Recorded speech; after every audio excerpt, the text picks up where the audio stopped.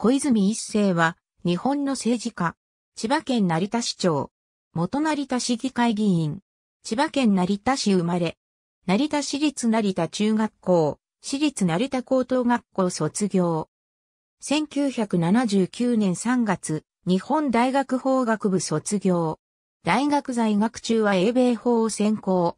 卒業後は、実家の旅館の経営に携わる。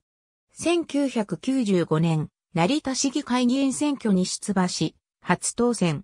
1999年、成田市議選に2期目の当選。2003年3月、小川国彦成田市長が辞職。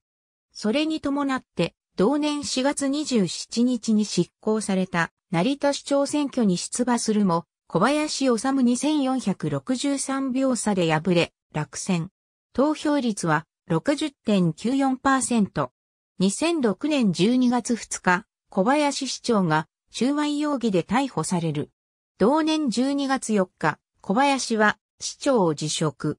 それに伴って2007年1月21日に執行された成田市長選に出馬し、初当選した。